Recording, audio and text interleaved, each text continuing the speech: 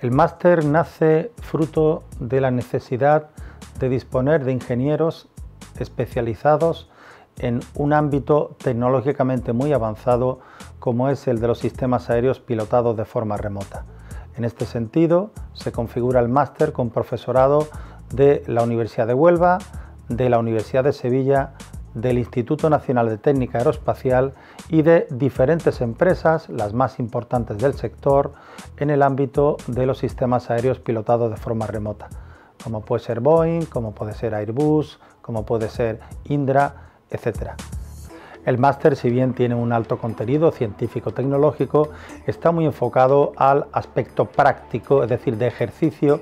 de la profesión en las empresas. En ese sentido, el 48% del total del plan de estudios del máster se imparte en la Universidad de Huelva y en el Centro de Experimentación del Arenosillo del Instituto Nacional de Técnica Aeroespacial en su sede en Mazagón, en Huelva y el 52% restante de la formación del máster la hacen los alumnos de forma in situ en las empresas. Cuando se termina la formación en la universidad y en el arenosillo, los alumnos se desplazan a las empresas colaboradoras y en ellas terminan de cursar el 52% total de créditos del máster. Bueno, Boeing Research and Technology Europe eh, este año es la segunda vez que participa, estuvo a bordo del programa máster desde la primera edición y fue porque nos pareció una, iniciativa muy acertada y también muy necesaria ¿no? a la vista de las oportunidades que se abren en este ámbito. Eh, tengo que decir que la primera edición eh, fue para nosotros un éxito a la vista de los resultados de los estudiantes que incorporamos en prácticas en nuestra empresa y la razón por la que estamos hoy aquí es porque efectivamente buscamos, buscamos este año eh, de nuevo contar con los conocimientos y las capacidades y la formación de los alumnos que salen de esta iniciativa de máster.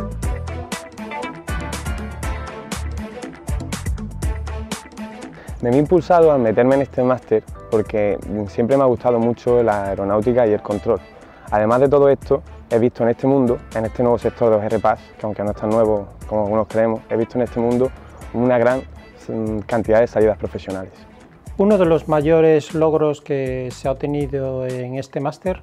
es precisamente la multidisciplinaridad que hay en el, en el máster. Aquí hemos integrado profesores de la industria, además de profesores con una formación lectiva muy importante, tal y como son la cantidad de catedráticos de los que disponemos. Pero realmente eh, la característica principal es la experiencia que transmite y que aporta eh, la industria eh, mediante sus técnicos a la labor formativa del propio máster.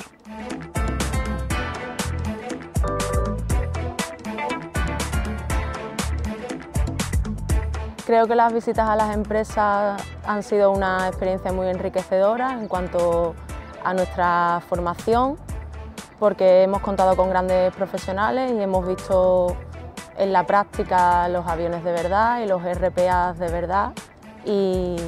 bueno, te haces una idea mucho más clara de los conceptos que si es solo formación teórica. Al ser un máster eminentemente multidisciplinar, eh, hacemos uso de todas eh, las tecnologías que tenemos a nuestra disposición.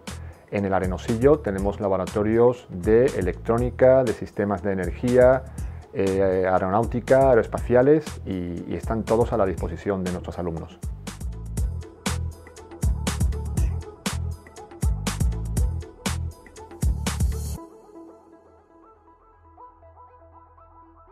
Las aplicaciones de los UAS son prácticamente infinitas, tanto desde el punto de vista de la agricultura de precisión, el control de las masas forestales, la monitorización de incendios. Estoy seguro de que van a surgir infinitas oportunidades para los estudiantes de este máster a partir de hoy. Skylife Engineering el año pasado eh, pudo contar con un, con un, estudiante de, este máster que realizó nuestras prácticas, eh, sus prácticas empresariales eh, de, su proceso formativo en nuestras, en nuestras oficinas y que bueno, aportó una visión distinta y enriqueció el proyecto y como consecuencia de, bueno, de ese proceso de formación hoy en día forma parte de nuestra plantilla y está involucrado en uno de los proyectos más relevantes que estamos desarrollando.